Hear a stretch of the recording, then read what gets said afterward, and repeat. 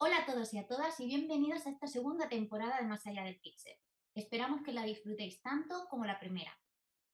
Para empezar esta nueva temporada tenemos a Alejandro Gómez, eh, animador en Keitoon Studio, supervisor de layout y una persona que tiene muchísimo que contarnos. Esperemos que lo disfrutéis igual que nosotros. Hasta ahora. Muy buenas, estamos aquí con Alejandro. Buenas, Alejandro, ¿cómo estás? Buenas, pues muy bien. Aquí estamos ya de tarde después de haber trabajado y un poco cansado, pero guay. Muy bien. ¿Qué tal Aguantando el calor, aguantando el calor que nos viene. Sí, sí. Ahí vamos. Bueno, Alejandro, muchísimas gracias por, por estar con nosotros. ¿vale? Espero que hombre. eh, eches un ratito bueno aquí en esta sala que no te suena de nada, ¿no? No, no, que va, que va, que va. Como, como no os veo nunca ni nada, pero sí, sí, encantado, claro que sí. Bueno, hoy por lo menos ha pasado media hora sin que desde que hemos terminado de, de currar. Tal cual. Muy bien, pues nada, Alejandro, eh, lo dicho, bienvenido al podcast, espero que lo disfrutes y nada, aquí a pasarlo bien, a reírnos un ratito, a contarnos cositas y, y a conocerte. Y para conocerte, qué mejor que, que empezar por quién es Alejandro. Cuéntanos un poquito de ti. Eh, pues nada, a ver, eh, soy animador y, y bueno, eh, llevo trabajando tampoco mucho, llevo igual trabajando 5 o 6 años, sí, unos 6 años en, en esto de la animación, más o menos. Y, y nada, genial, esto eh, es, es una industria muy chula. Eh, yo- sí, es que esto- estos comienzos. Y, y nada, eh, yo empecé currando en, en una peli que la verdad que tuve un montón de suerte de que después de estudiar, lo primero en lo que entré fue ya directamente en una peli, que yo qué sé, que entiendo que, que a veces pues no eh, de- trabajas en lo que puedes, ¿no? A veces tienes suerte de currar en pelis, otras veces pues en otras cosas, ¿no? Y, a- y aunque era una pe- eh, la peli de la gallina turuleca, y aunque es una peli eso, modesta y de, y de un presupuesto bajito, creo que es, eh, ha sido un poco de lo mejor que me ha pasado para, pues, para cogerle el gusto a, a- a esto de la animación, básicamente. Sí, porque tú no, no, tú no, no estudiaste para, para animador ni, ni nada de, de esto, ¿no? Tu forma- No, eh, formación profesional podemos decir como estudios reglados y ese tipo de cosas. claro, eh, yo estuve haciendo teleco. Y eh, pues co- como mucha gente entras en la universidad un poco igual con unas ideas diferentes de lo que, de lo que es. Y después de unos años, pues yo me di cuenta que, es, que no quería seguir por ahí, que, que eso no, no era mi camino. Y siempre me habían gustado los videojuegos y empecé un poco también a prepararme para, pa- para entrar eh, a trabajar en algo relacionado de videojuegos. En el fondo me daba igual un poco lo que fuera, porque por un lado me gusta la programación, me gusta la animación, me gusta el diseño y estuve estudiando todas esas, eh, todas esas facetas por separado también. Y llegó un momento que se me presentó la oportunidad de, aparte, aparte de estar estudiando la carrera y trabajando, pues ponerme a estudiar también eh, un máster de animación con la idea de, de- de- sinceramente, con la idea de trabajar en videojuegos. Eh, no, la parte del cine, series y todo esto no lo tenía, no lo tenía en mente. Y, pues eso, después de, después de empezar a estudiar le- la animación, mm, me di cuenta que me llevaba a- más aún la parte de, de la narrativa y el acting cuando estás, eh, cuando estás animando que la parte de mecánicas, que aunque me gustan, eh, eh, poquito a poco se me, se me iban alejando de lo que más me gustaba. Entonces, nada, pues seguí estudiando animación y cuando terminé se me presentó la oportunidad de la peli y, y- y ya te digo, fue, fue un poco, fue maravilloso, la verdad. Entonces fue un Y poco, un poco casualidad, ¿no? Llegar a, a- a la animación como, como tal, ¿no? sí, sí, sí, sí. Sí, porque eh, lo chulo de cuando entré es que no, eh, la producción, lo que es la parte de animación, aún no había comenzado. Eh, se estaba replanteando todo el layout de la, de la película. Entonces, eh, fue muy chulo porque antes de, de directamente entrar en animación, aunque a mí me contrataron como animador junior, estuve durante dos o tres meses ayudando a terminar todo, todo lo que era el layout de la película. Eh, por un lado, eso, e- eso está genial, porque tu primer contacto con la película no es ya, no es animando los personajes, sino que estás desde, desde la parte de la cámara en la que te planteas, estás planteando toda la escena, todas las secuencias, ves la película de una manera mucho más global y la entiendes mejor, tanto para para luego, sobre todo para cuando luego te vas a poner a animar en sí, porque entiendes mucho mejor los arcos de los personajes y puedes permitirte darle diferentes matices a los personajes cuando vas a trabajar después con ellos, ¿no? Depende del momento de la película y de la secuencia.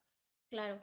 Así que, una, una cosilla, para los que no sepan, porque puede que haya gente que nos esté escuchando y no sepa muy bien eh, qué es layout, pues eh, explícanos un poco para que comprendan e- ese departamento eh, a qué se dedica. claro, layout normalmente es el paso previo a animación, ¿vale? Cuando, eh, cuando tú te planteas cualquier historia audiovisual, normalmente partimos de un storyboard eh, realizado en 2D eh, para, para ver los puntos claves de la escena, de la secuencia, de lo que vayas a contar. Y luego eso tienes que trasladarlo a un 3D, en el que tienes que plantear si es un, plano, pues los personajes, dónde van a estar en la escena, cuál es el raccord con los planos anteriores y posteriores, qué cámara vas a usar que te pueda ayudar a contar mejor lo que necesitas.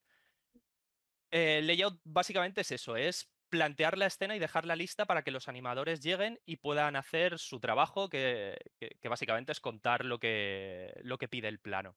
Sí, que tengan todo lo necesario en su plano para poder desarrollar, pues, eh, mismamente el, el- el plano en sí. Exacto, sí. Entonces, nada, es, eh, es muy interesante poder empezar ya desde, desde ese departamento, sobre todo en una peli. Pues eh, hemos hablado, porque en principio te he preguntado un poco por quién eras tú, pero al final hemos hablado de, se han mezclado ahí Sí, varios temas que ahora Sí. podemos ir desarrollando, como por ejemplo, eh, tú ahora mismo eh, estás trabajando en K2, eres supervisor del layout de, en K2.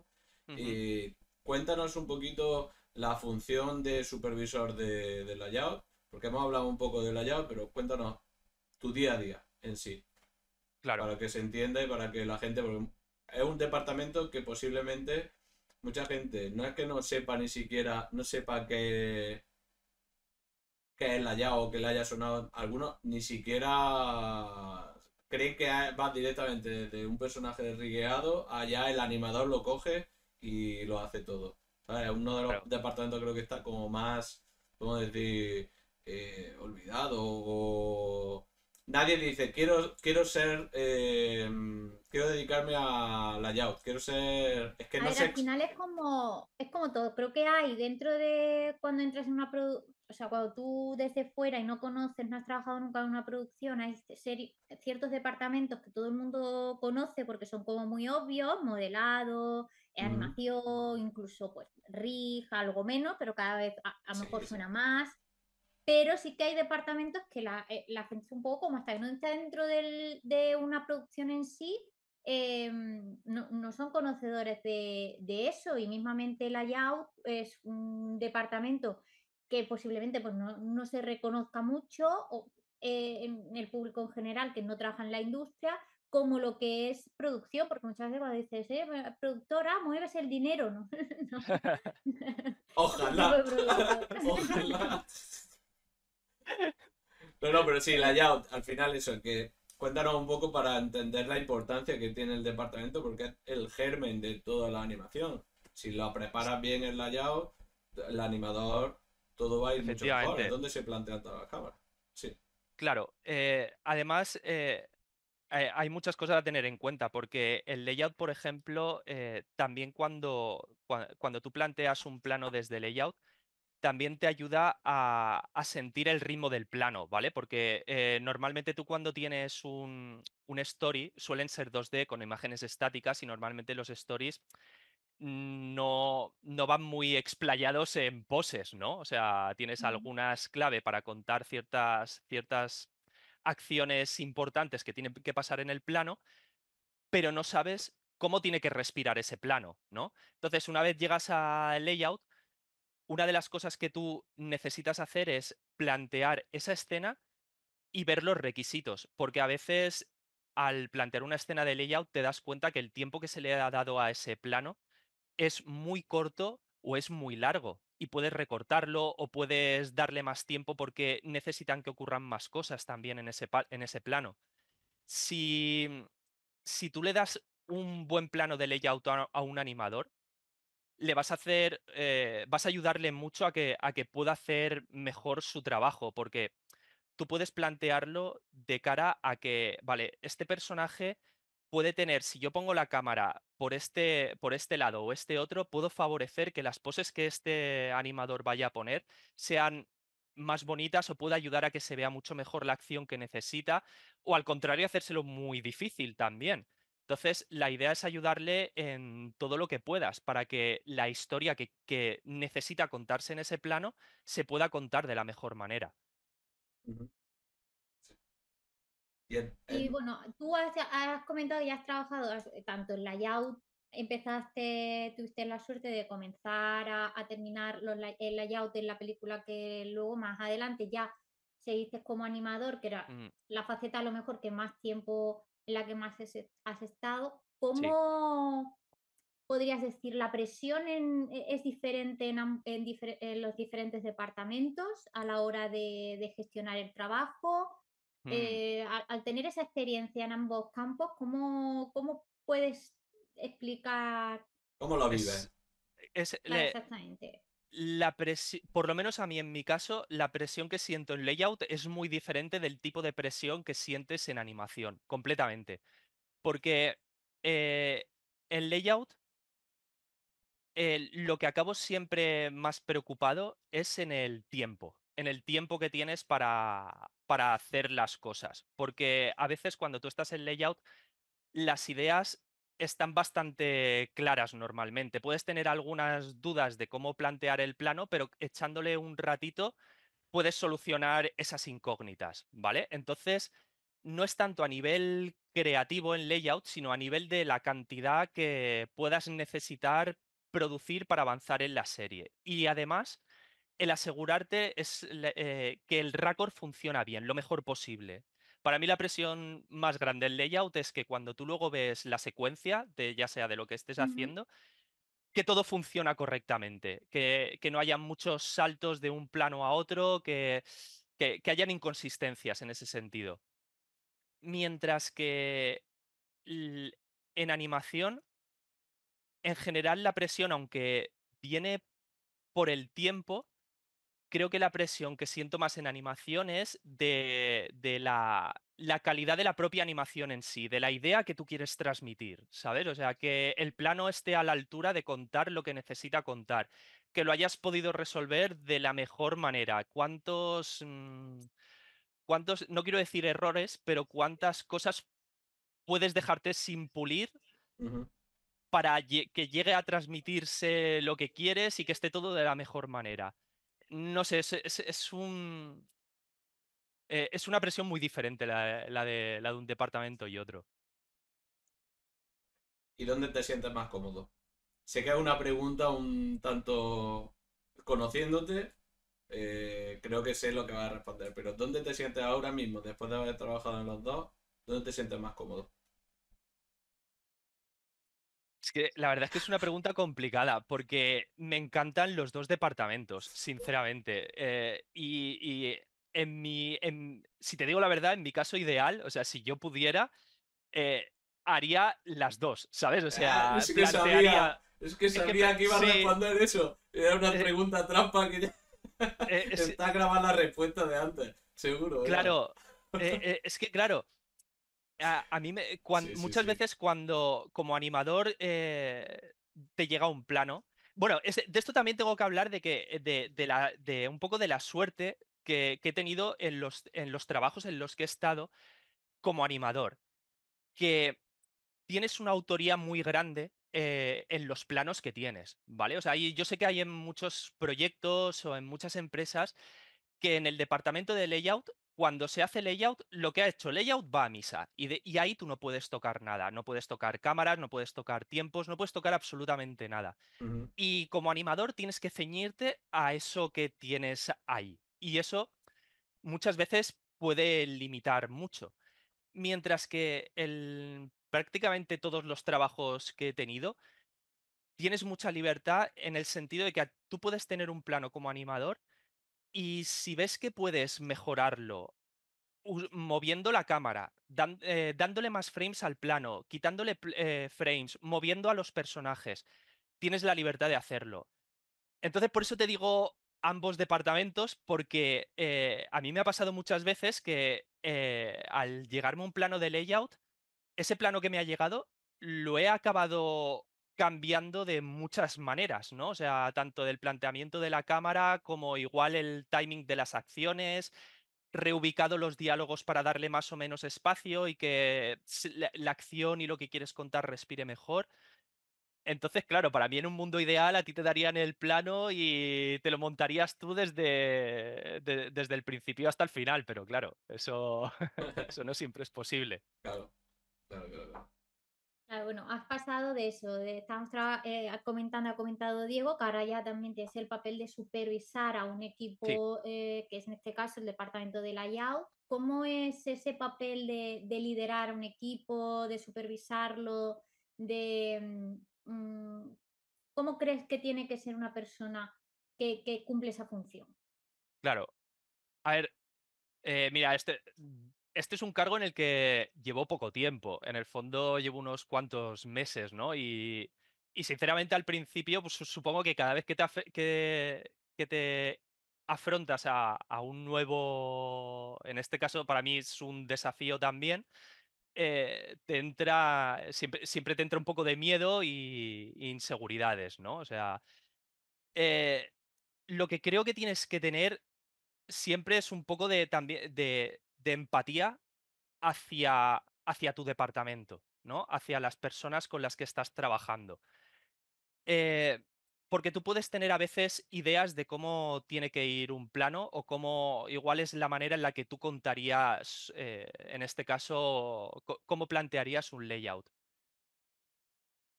Y obviamente las personas que están trabajando y están haciendo los layouts lo van a montar de una manera que puede ser más o menos parecida a la tuya. Muchas veces lo importante es saber decir, el plano que ha montado esta persona funciona para lo que necesitamos en la escena y si funciona, tiramos para adelante. O sea, e- es ego, como, claro, eh, justamente, justamente, es, eh, es, es, es como decir, yo lo haría de esta manera, pero es que su manera eh, es tan válida como la que, como la que yo tengo planteada y muchas veces es mejor, ¿sabes? O sea, pues claro. tiramos para adelante de esa manera. No sé, es, es como eh, el intentar trabajar en equipo lo, siempre lo, lo- lo más posible y en favor del equipo. Eso es una de las cosas que creo que son importantes también. Imagino además que Y lo que es todo el tema, la comunicación del equipo, el, con el, o claro, sea, el departamento en sí, eh, es algo primordial como en cualquier otro departamento. claro, así es. Genial, genial, genial. Eh, vale, nos estabas contando que has estado trabajando, empezaste trabajando en la gallina. Sí. Eh, después de la gallina, eh, has Eh, estado trabajando en proyectos. Cuéntanos Sí, algunos.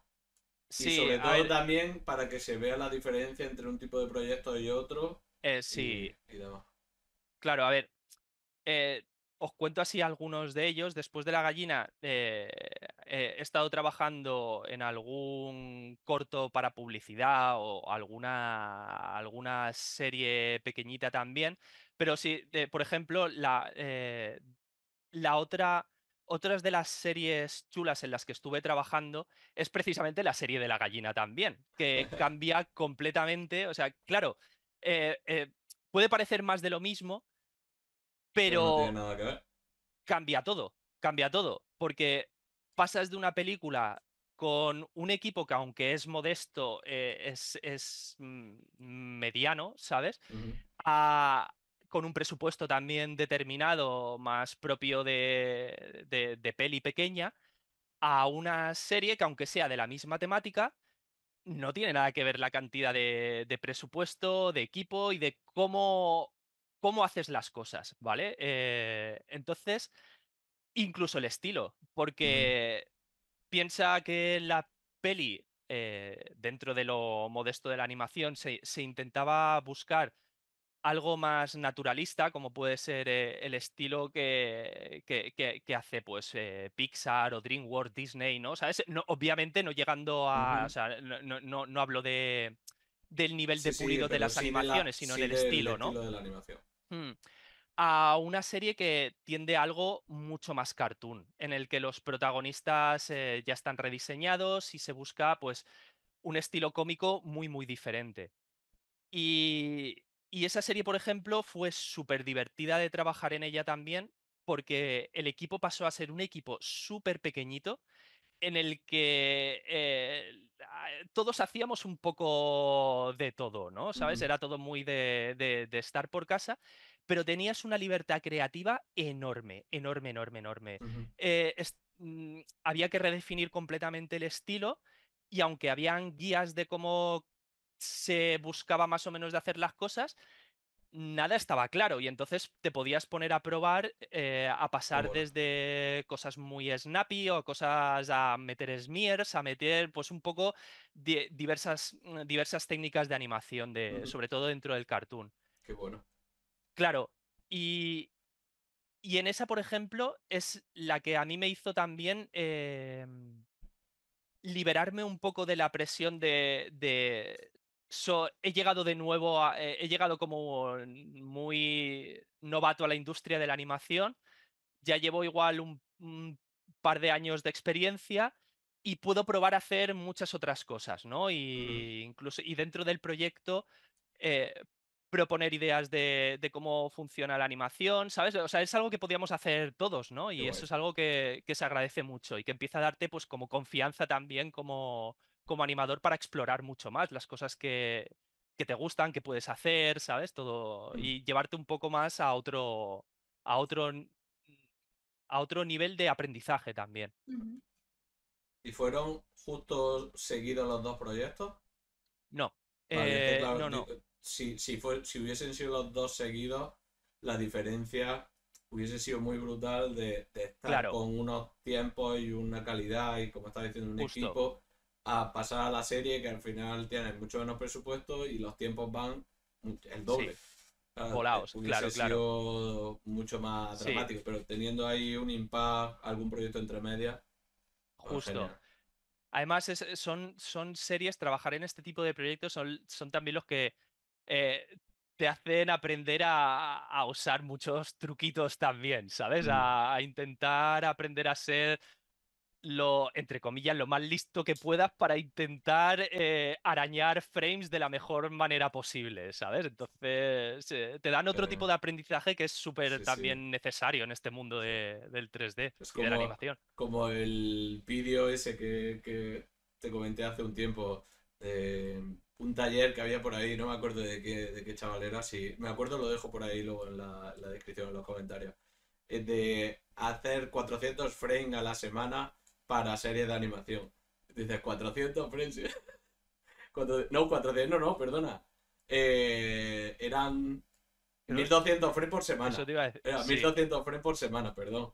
Porque estaba Claro. pensando ahí, 1200 por, por, por semana. Y es como, hostia, eso es una pasada. Es una es barbaridad, claro, claro. A saber los tienes trucos que sacaba ahí. la- Claro. Tienes que Sí, usar trucos muy, muy sucios, o sea, a veces para tirar esas cosas para adelante. Sí, Y, sí. Pero, pero, pero está chulo. O sea, de- yo tengo, una, eh, tengo un amigo que es, es un animador eh, maravilloso. O sea, se, se llama Adrián Olivares. Él empezó conmigo también eh, en Keitun, en la peli de la gallina. Y bueno, desde el principio a mí me ha encantado siempre cómo, cómo animaba. Tiene un estilo que me gusta muchísimo. Y me comentaba tiempo después de trabajar en Keitun que estaba trabajando, pues estuvo trabajando en otros sitios también. Y me hacía mucha gracia porque, claro, yo aún no había trabajado en series de estas y lo que me contaba me parecía una, una aberración. Porque, por ejemplo, me contaba que habían en series que decían, pues yo, mira, para este plano directamente me voy a coger esta animación de 600 frames que tengo de este otro plano, la voy a plantar aquí y le voy a cambiar el lip sync. Y funcionaba, ¿sabes? O sea, y eso pasa, y eso pasa más de lo que Sí, sí, más de lo que parece, ¿sabes? O sea, y le cambias luego cuatro cosas y funciona perfectamente. Claro, todo esto depende de la producción en la que estés, pero claro, una producción en la que tienes que sacar 1200 frames a la semana, tienes que usar trucos así para poder tirar imposible. tanto. Claro, y a mí en su momento cuando te cuentan eso, te explota un poco la cabeza porque claro, tú vienes de una experiencia igual de estar en la peli en la que estás cuidando a veces hasta la respiración de los personajes, ¿sabes? Que vaya compasado a cuando hablan, a cuando sí. no. eh, no sé, que, eh, que el movimiento de los dedicos, ¿sabes? Todo a un, a un detalle muy grande y claro, te cuentan esas cosas y dices, "N- n- No. no, no. Pero luego, luego lo entiendes y luego son trucos que, que vamos, que he usado ma- más, de una vez, claro. Al final la experiencia es la que, la que hace a, ca- eh, a cada uno, bueno, en su trabajo saber eh, qué le puede ayudar y qué atajillos son aquellos que, que pueden hacerle más fácil el camino. El Claro. tema mismamente de la biblioteca. eh, Mm. habrá animadores cuando empiecen, pues que eso no lo tienen en cuenta y animan desde cero Sí, todo. Y, y de pronto, pues, ups, si me voy guardando esta animación de caminar claro, porque sé que la voy a utilizar más veces, y me claro, guardo esta acción y si me guardo esto. claro. Y, son de esos truquillos que, que cuando empiezas, pues obviamente pues no, no sabes, pero que te da la experiencia como en cualquier, eh, como en cualquier trabajo. sí. Sobre todo porque cuando muchas veces tú estás en la escuela de animación, a ti, claro, te están enseñando y te están preparando con el objetivo de que hagas pelis, ¿no? O sea, y normalmente, claro, es verdad que cuando tú trabajas en una peli que tienes mucho tiempo, no sueles rehusar, o sea, porque los, eh, las animaciones que haces las haces para el plano, o sea, ha- hay veces que sí, si tienes cosas de fondo, obviamente siempre hay ciclos, siempre puedes rehusar ciertas cosas, pero en lo que es el acting principal no sueles rehusar, o sea, animas para plano, entonces te Claro. enseñan a eso. Entonces, cuando a ti te...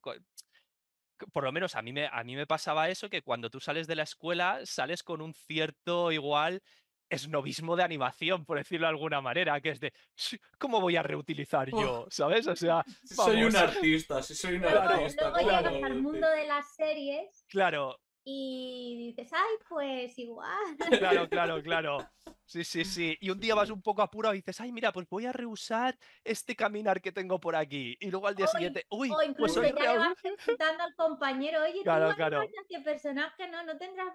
claro, claro, claro. Sí, sí, sí. Entonces son cosas pues que, que, la experiencia te va dando, pues, de adecuarte, o sea, sobre todo es saber adecuarte en, en lo que, en el proyecto en el que estás también, Sí. Claro. cada formato es, es diferente, o sea, trabajar, es lo que te has dicho, trabajar una película tiene unos tiempos Mm. diferentes, una, un pipeline Sí, que es marcado diferente y, una, y, y cuando pasas a una serie eh, el ritmo es totalmente distinto mm, y llevas tres episodios a la vez y, y trabajas y, y- y todo es como muy frenético y, y claro, tienes que, claro. claro, y tienes que adaptarte a, mm, a- a- a cada mm. circunstancia y saber adaptarte. Mm. Y los estilos, hace, a- adaptarte, que- porque encima en el, obviamente también pasa en el cine, ¿no? Pero en las series a veces, claro, si tienes que hacer muchos frames y adaptarte al estilo de cada serie, tú puedes estar acostumbrado a un estilo y de repente que te lo cambien completamente, Mm. eh, te lleva, te puede llevar tu tiempo Sí, a- sí, sí. adecuarte a eso y a veces es, es un proceso que, que- que puede ser más difícil de lo que, de lo que Sí. puede parecer. ¿no? O E sea, incluso mm, llevar dos series diferentes a la vez. sí, claro, K2, en K2, por ejemplo, mm, pues ha pasado de estar con, pues, con proyectos que estás ahí eh, y claro, el animador tiene que estar un poco como, hoy me toca hacer un plano de esta serie, ahora de esta otra y sí, la, eh, el, tienes Sí, que sí. cambiar el chip. sí. Totalmente. Completamente, completamente. A veces eso, eso es Es difícil. difícil. Sí, Mira, sí. Mm. Yo veo lo vuestro y lo subo. Eh, ya ha salido un podcast, bueno, porque después de esta, cuando ya salga esta grabación, eh, estará ya publicada la, la entrevista con Juan Gra, ¿vale? El supervisor de animación de, de Big Water. Eh. Juan Gra ha estado trabajando a la vez en tres y cuatro proyectos, y no solo eso, sino en tres y cuatro proyectos con software diferentes. De estar trabajando en algún proyecto en Blender y otro en Maya. Y en el mismo día tener que estar saltando de uno a otro. Y es, espérate, no me acuerdo. Fíjate. Lo primero no me acuerdo de cómo son las teclas de un software, Mira. las orcas de un programa o de otro. Me está dando algo, ¿no? Me está entrando una taquicardia solo de oírlo. Con todo eso, yo creo Sí, que sí. ahí radica la importancia de que eh, a día de hoy eh, la- las escuelas, las formaciones que, que haya en 3D, animación, eh, la de la industria en general de la animación, eh, creo que ahí eh, radica una importancia bastante grande en que la, la gente que imparte clase eh, pueda estar en, en activo en, el- en- en la industria. Mm. Porque eh, trabajas con una realidad que si no, pues eh, idealizas cosas que luego, eh, claro, luego hay gente que, que sale jovencita, empieza a trabajar, empieza a meterle caña y mm, que es la caña normal, que no es Sí, que sí. sea porque sean jovencitos, eh, y, y se decepcionan o se vienen abajo, o lo dejan, se frustran. Y hay Mm. veces que tener el punto de vista de una persona que, de- que te está enseñando, que está en activo en la, en la industria, creo que, o por lo menos tener a gente que te pueda dar charlas que, que están en activo y que te cuenten un- eh, realidades de, de lo bonito y de lo que no es tan bonito, Mm, eh, Sí. creo que es importante, eso, sí. porque al final llegar a esto y mantenerte a esto, siempre lo digo y, y lo repito siempre que hablamos de estos temas, eh, creo que al final tiene un punto vocacional bastante fuerte porque tiene, e- es una industria eh, muy exigente, muy agradecida para muchas cosas, pero muy exigente a nivel de, de trabajo, creo yo. em, y igual no todo el mundo aguanta ciertas presiones o creo que tienes que tener ese punto de vocación sí. presente. Y creo que de- a los estudiantes sería una cosa, vamos, creo que es genial que, que- que se les pueda dar no solo lo bonito, Claro, no solo lo vean. maravilloso, Pixar, Disney, tal, oh, Sí. qué, qué bien, ¿no? A veces hay industrias más pequeñas, también saber cómo, tra- cómo trabaja la, la industria en, en- en general es que eh, los estudios pues tienen- trabajan por proyectos, a veces un proyecto termina y te vas a la calle y no es porque seas malo, sino porque ahora mismo no hay más trabajo hasta el siguiente y, Claro. y un animador no siempre va, no va a estar 20 años, es difícil al igual que esté 20 años en un mismo estudio, que, que, lo, que los hay, claro, que, que, que- a veces los estudios tienen un mínimo de equipo siempre que mantienen, que, que es el mismo, pero por lo, por lo general la gente va rotando entre estudios, proyectos, pa- Mm. eh, y la industria es así, y Sí. no hay que desanimarse en decir, jo, esto ha acabado, ahora me he ido a la calle, ahora no tal, a ver hasta que... No, es que la industria es así. Sí, y que lo diga gente, pues que, por ejemplo, Alejandro, Juangra, cualquier persona que venga, eh, eh, bueno, en cada departamento, que comunique eso, que las cosas buenas, las cosas malas, siempre, siempre bueno. Y que digáis eso Pero de aun con las cosas malas merece la es pena. una industria muy bonita. Claro, Sí. es que siempre en todo lo que hagas van a haber esas cosas buenas y, y esas cosas malas. Lo que pasa es que tienes que poner una balanza lo que, lo que a ti te compensa más. Y, mm, y aparte ya no solo eso, antes por ejemplo estabas comentando lo de eh, el nivel aspiracional, ¿no? De la gente, ¿no? De Disney, Pixar, etc. Eh, también con eso, a ver, yo eh, parto de que no he trabajado nunca en una en, en algo así de grande, ¿vale? Pero sí que también conozco gente que ha trabajado en sitios así, en proyectos grandes, y no todo el mundo creo que quiera o esté preparado, dispuesto para aguantar eh, la presión y lo que son esos trabajos en esos proyectos tan grandes. Y que a veces puedes sentir una gratificación mucho mayor como profesional trabajando en proyectos más modestos que Mm. en la última gran peli de Sony o Mm. de Pixar o de Disney. Y Sí. eso, eso también es importante porque Sí. cuan- de- una de las cosas que recuerdo de cuando, de, de cuando yo estaba estudiando es que, claro, todos aspiramos a... O sea, para, para nosotros el éxito, o sea, a nivel profesional, se medía siempre en trabajar en algo así, ¿sabes? O no, yo es que Sí. mi meta es entrar en Pixar o mi meta es entrar en, eh, en la Sí, que sí. sea, ¿vale? La, la- Sí, la al que final son los referentes que conoces antes de Claro. entrar en la industria y empezar a conocer diferentes estudios y también cómo funciona en España. pero el problema, es. que, ahora, gracias a Dios, cada vez Sí. está creciendo más. pero el problema no es tanto, creo yo, el, el querer aspirar a eso, sino el denigrar el trabajar Lo en que no otra- sea lo eso. que no sea eso. Que ese es un Sí. problema, porque Completamente. eh, hay gente que está trabajando. Yo tengo algún amigo que, que está trabajando en, en peli grandes y a lo mejor en un año, en un año de trabajo, ha hecho ocho planos.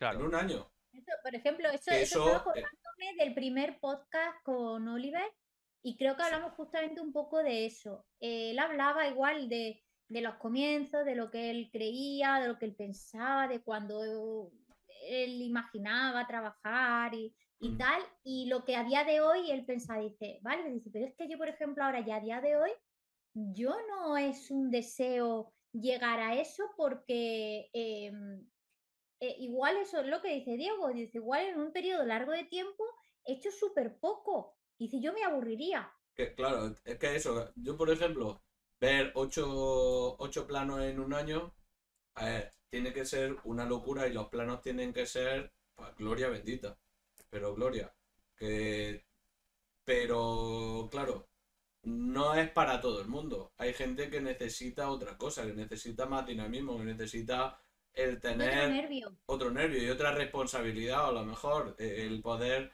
estar más involucrado en ciertos proyectos que sean más largos. Por eso al final no hay ni que decir que, que una cosa es mejor que la otra, sino que Claro, no, que son todo, diferentes. claro, todo es bueno y lo que, y al final es trabajo. Y es como, sí, sí. como tú te sientas, si te sientes cómodo y te sientes a Mm. gusto con lo que estás haciendo, es lo mejor, como si estás haciendo de verdad, trabajando para la, la televisión pública o, una televisión privada haciendo cabeceras para una serie o Mm. para cualquier cosa.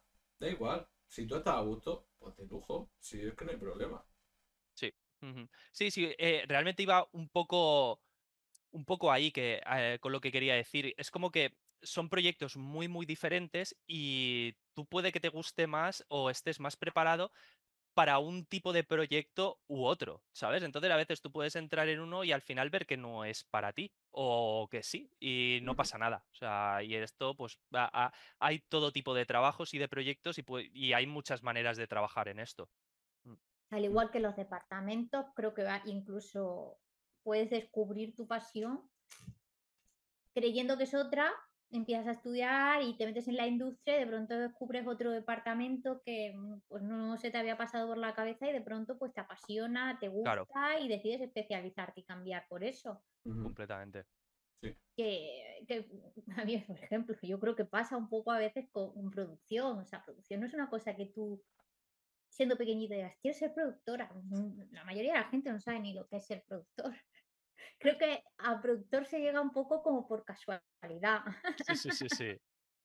Y tanto. Y luego, obviamente, ya te debe de gustar y, y- y debes de- de- creo que los productores deben de tener también unas ciertas cualidades o una cierta mm, manera de ver las cosas para poder eh, est- estar ahí, igual que el animador, igual que el rigger, igual que... Mm, mm. Pero que sí que lo descubres, es, creo que son cosas que descubres muchas veces una vez estás Sí. Como dentro de la industria. Es que cuando trabajas aquí, eh, yo creo que al final en todos los departamentos tienes que tener, eh, una de las cosas que tienes que tener es empatía y, y y como eh, saber comunicarte con el resto de personas, porque aquí eh, hay muchos departamentos, cada uno a veces va a lo suyo y casi siempre las cosas hablando se solucionan. O sea, es, y, y es importante saber llevarte bien con la gente y, y tener siempre una actitud de en qué puedo echar una mano, ¿sabes? Que cómo puedo hacer. además que tú no claro. estás solo, que tu departamento no es el único, y Mm. que de tu departamento, de lo que tú haces, pues va a depender otros y que Claro. obviamente pues eh, tu trabajo no, no, no es único y ya está, y yo me lavo las manos, sino que hay más gente que va a trabajar luego con ese, con Mm. lo que tú estás haciendo. Y siempre aprender, siempre aprender al final. De, Y aprender, obviamente, tanto del que viene después como de lo, de- del que viene antes que, que Sí. tú. eh. Tal cual. Eh, Así es. Alejandro, un poco para. Luego volvemos de nuevo a la animación y todo eso, pero Claro. eh, para cambiar un poquito el, el sentido de la conversación y de la entrevista, háblanos un poquito también de tu hobby, para conocerte, aparte de tu, de tu faceta de animador, cuéntanos un poco sobre ti. Porque vemos muchas cosas. Ahí y, sabemos A ver, a mí- Sí, cosas. porque a veces se piensan que, que cuando los animadores y tal están todo el rato, lo único y única exclusivamente que hacen en su vida o que han hecho en su vida es estar delante del ordenador. No, Y no, hay Eh, y no, y no tienen como más visión, pero, pero por ejemplo, tú, No, en para este nada. caso, por eso queremos un poco que nos cuentes, porque además tú eres un ejemplo de, de una persona que, que, que, que tiene muchos hobbies y le ha gustado muchas, muchas cosas. Sí, a ver, eh, sí, sí, o- obviamente es eso. Para, lo, lo primero es que, pa- em- em- a ver, terminando un poco con lo que decíais, eh, cuando te dedicas al 3D, la verdad es que sí que es verdad que le echas muchísimas horas al ordenador, Sí. eso por Eso un sí. lado, porque para este trabajo al final siempre tienes que acabar echándole muchísimas horas, claro, o sea, porque para mejorar no hay, no hay ningún atajo más que el trabajo, más que currar, currar, currar e intentar ser lo más autocrítico que puedas. Pero aparte de eso, sí, por ejemplo, a mí mm, me, me gusta hacer un montón de cosas diferentes. Además que tengo un perfil un poco obsesivo que cuando me gusta algo, suelo obsesionarme mucho con ese algo concreto y estudiarlo mucho y darle muchas vueltas y no parar con él durante una cantidad de tiempo, ¿no? Y suelo ir eh, rotando entre diversos hobbies que tengo siempre manteniendo otros, pero focalizando la energía en algunos, ¿no? Entonces, eh, yo qué sé, por ejemplo, Mira, yo la, la música la he llevado siempre. Háblanos, háblanos sobre Sí, todo. Mira, dime. l- luego tocamos ese, pero háblanos sobre uno que a mí me, me- me sorprendió un montón y me gustó un montón, que es el tema de las maquetas. Y Sabía que iba a ser es por ahí. que es buenísimo, es que a mí me encanta, es que me encanta. eh, Claro. Eh, ya- a ver, mira, eh, lo de, las maquetas vi- viene porque a mí siempre me han gustado los, eh, los dioramas. Desde, desde pequeñico, cuando, cuando paseas por la calle y veías, vas a algún sitio que tienen alguna maqueta de algún edificio, ya sea de una promotora, de una inmobiliaria, que tiene ahí las miniaturas pequeñitas, eh, una maqueta de un tren que hay en una tienda con sus árboles y eh, no sé, la- las cositas en, en pequeño siempre me han fascinado. Y, Mm. y yo me metí en el mundo de, lo- de, de los wargames estos de, de mesa en mi, en mi adolescencia. O sea, igual con 13 años, ¿sabes? Empecé con todo esto, con, primero con Warhammer y ahora ya con cosas más duras. Pero empecé con Warhammer. Y, y- y- y es algo que me ha acompañado siempre, todo, desde, desde entonces hasta ahora. Eh, lo que pasa que eh, al principio empiezas con las miniaturas, simplemente pintándolas, montándolas, jugando tus jueguecitos, pero la verdad es que a mí la parte que más me interesaba, más que el juego en sí, más que las reglas, más que ganar la partida, es el meterte en ese, en ese contexto, en ese escenario, estar como si tú estuvieras en pequeñito en eso. Y muchas de las de lo que más me faltaba siempre es el tema de la escenografía, ¿vale? O sea, porque siempre jugamos con escenografía, pues desde cuando eres pequeño, muy cutre, pues unos libros que los tapas con una manta, un trozo de cartón recortado y cosas así.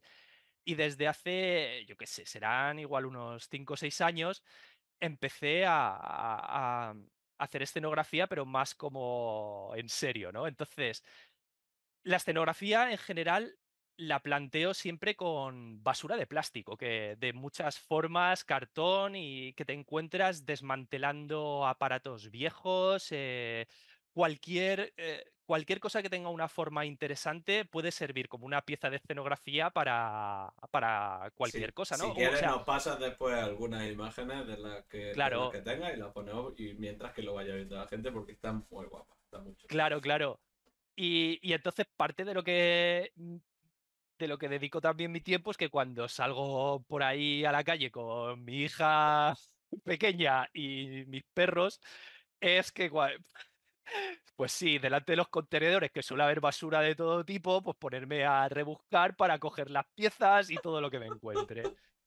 Entonces, claro, eso lleva también a situaciones graciosas, porque igual estás por ahí, de repente viene tu hija que que está jugando en el parque y se ha encontrado, yo qué sé, eh, un palo de un polo lleno de basura y tierra y llega y te dice, mira, papá, basurita de la tuya para tu escenografía. Y, es muy gracioso, porque claro, eh, en el fondo a mí me encanta y le digo, muchas gracias, Lua, me lo guardo para, para algo. Y efectivamente me lo guardo y, y esas cosas las acabo siempre utilizando de una manera u otra. Qué bueno. Eh, sí, sí. Eh, entonces es muy, muy divertido. No sé. Es genial, genial. Sí, sí, Al final es un poco, si lo piensas, te une un poco eso al layout, que es montar las escenas. Sí, bueno, en ese caso yo creo que iría más por la parte de set dressing, que, que es una parte que también me resulta súper interesante, o sea que en el, en el mundo de la animación o videojuegos me encanta cuando, cuando veo una peli o, estoy jugando algo que, que, es el entorno. O sea, a decorar, a decorar. Claro, claro, claro, que ese entorno y, sobre todo que el entorno cuente historias, ¿sabes? O sea, que, que tú llegas y, y, con echar un vistazo a lo que tienes alrededor puedes reconstruir algo del el pasado de ese lugar, que te que encima te, te mete más en el mundo ese y te lo crees muchísimo más, ¿no? Entonces, eh, a mí eso me gusta trasladarlo también a las maquetas. En todas las maquetas que hago también de, escenografía, le meto pequeños detallitos de esos también, ¿sabes? Porque son los que hacen que ese entorno sea vivo, no sea simplemente una casa más o una ruina más, o como que sea algo que ha vivido, tiene un contexto, y tiene una historia detrás. Y encima va ayudando a la narrativa que tú puedas crearte, ¿no? Porque a, mí me gusta en la escenografía que yo creo eh, crear una narrativa global de, todos esos eh, edificios o elementos dentro de un mundo que cuentan su propia historia también, ¿sabes? O sea, porque al final cuando tú juegas esos juegos, las reglas son reglas y puedes extrapolarla al, lore o al trasfondo que a ti te apetezca, ¿no? Que eso es parte de, la gracia, ¿no? Sí, sí, además, por ejemplo, a mí mm. me encanta, por ejemplo, en películas ver todo, bueno, películas, series, ver todos los detalles cuando humanizan eh, animales, objetos, da igual, el cómo transforman el mundo a cómo ellos lo viven. Mm. Por ejemplo, me encanta. Zootrópolis o. Monstruo S.A. son ejemplos por, eh, de, películas donde estoy más pendiente a veces de lo que hay en el fondo, de los detalles de que hay e, e, en, el piso, en la tal, eh, en los escenarios, de cómo, de cómo esto se han imaginado que sería en ese mundo, que mm. para nosotros es totalmente diferente.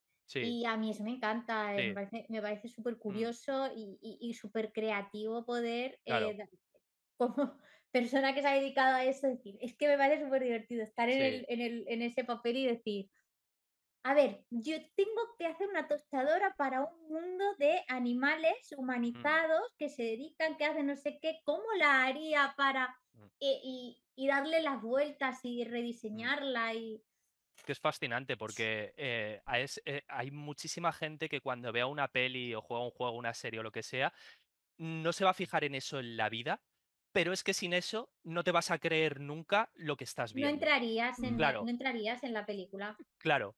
Entonces es, un mundo que, vamos, a mí me, resulta maravilloso. Y luego, pues eso, en los libros de arte, igual poder crearte más en todo ese tipo de escenarios o cuando ves las películas, lo que sea, me encanta también. Mm. Genial. ¿Ibas a preguntarle, Diego, alguna cosita más acerca de...? Vale, bueno, no, en realidad ya que estamos hablando de, del tema de la, de la animación que hemos dicho justo eh, Zootrópolis y este tipo de películas, eh, me gustaría saber cuáles son tus pelis preferidas de animación, cuáles son tus porque no tiene por qué ser de 3D, ¿vale? Podemos también de anime, que sé que te gusta también mucho y todo eso. Cuéntanos así cuáles son tus inspiraciones o cuáles son tus películas fetiches. Sí. Eh, Para. eh, Peli o serie. Sí, También vale sí. serie, ¿eh? Vale. eh, vale. La verdad es que en general con el anime te- te- tengo una, una gran conexión con el anime, aunque me encanta el 3D de pues eh, las pelis de, un corte más occidental me gustan mucho, por supuesto. Pero en general eh, conecto mucho con el anime. Es con lo que he crecido también desde, de- desde pequeño y por lo que sea me encanta.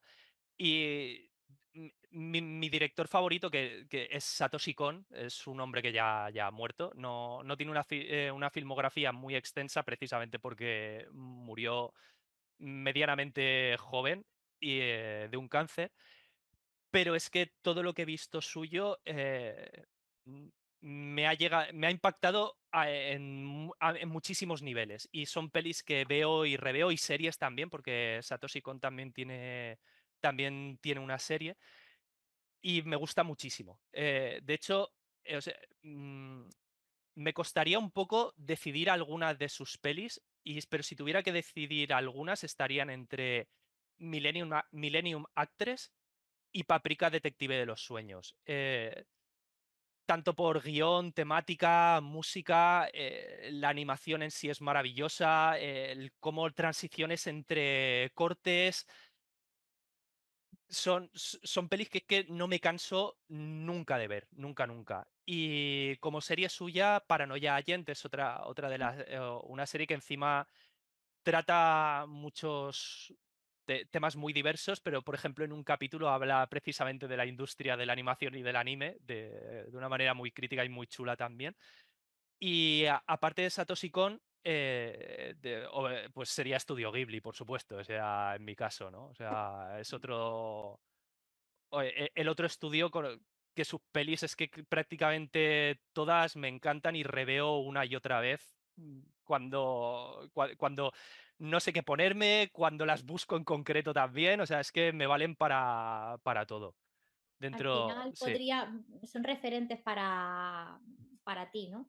completamente, completamente. Dentro de la animación, eh, como animador, sé que obviamente todos los animadores no pueden eh, basarse en tener, eh, sería un privilegio poder tener un estilo propio, claro, pero si tú tuvieras una libertad, ¿consideras que, que puedes plasmar o que, que llegarías a, a hacer cosas que serían fácilmente identificables como tuyas? No sabría decirte, a- a- esa pregunta no sé contestártela, sinceramente.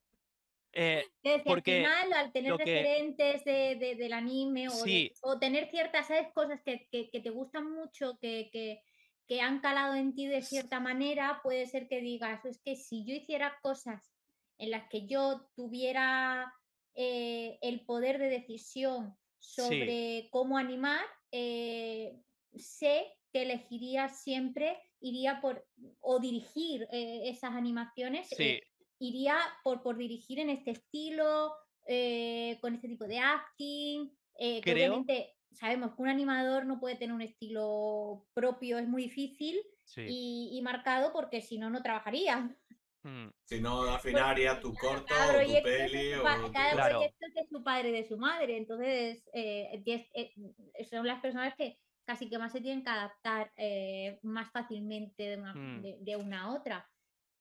Pero me, me resulta curioso eso de cuando se tienen referentes, si, si A ver, yo creo que esos referentes eh, se almacenan en tu biblioteca mental, ¿sabes? O sea, que, que- que no están activos todo el rato y, y salen a la luz, depende del proyecto, depende del plano que tengas que hacer y depende de lo que te pidan, ¿sabes? O sea, porque tú estás en un proyecto y igual por el tipo de plano, lo que te viene a la mente es una escena que tú has visto, pues puede ser perfectamente en una peli de Disney o en una peli de DreamWorks con otro estilo, o de repente te puede venir una serie de anime, o te puede venir una película de imagen real perfectamente, ¿no? O sea, quiero decir, tú como animador al final eh, ves, creo que tienes que, aparte de trabajar mucho también, es muy interesante ver mm, mucho cine también y series, ya sea tanto de anime, de animación, como de acción real, porque todo eso te va empapando.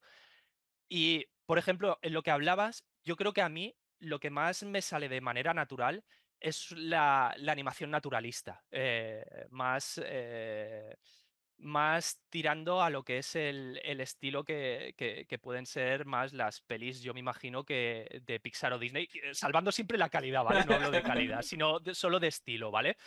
Eh, no tiro tanto, por ejemplo, a un estilo más cartoon y snappy.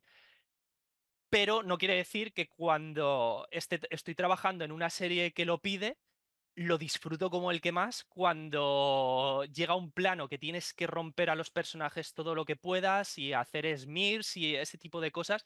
Y me encanta darle vueltas y me encanta dedi- dedicarle también tiempo a esos planos, ¿no? Entonces, no sé, yo creo que, que yo como animador tiro con, con todo lo que he ido viendo a lo largo de mi vida ah, y lo voy sacando mediante, mediante lo vas necesitando. Que, que- que- que creo que es la- lo, que, lo que hacemos la mayoría también, sinceramente. Y Habrá quien no, pero no sé. y además creo que bueno, dentro de un equipo de animación siempre se busca que, que al final tienes X animadores, pero el resultado final cuando tú ves el conjunto es no, no, no, no, no saber decir en un momento dado quién ha hecho qué, claro, porque todo el mundo ha ido en, en claro. sintonía y todo el mundo ha sabido adaptarse a, a un Mm, estilo que está bien, te- poder identificarte y poder decir, esta persona ha hecho este plano seguro, pero e- en, en ciertas ocasiones, o sea, puede ser, mm, puede marcar una diferencia, puede quedar, Sí, quedar raro claro, y, y al final los animadores creo que tener un buen equipo de animación consiste un poco en eso, ¿no? Al final justo. todos saben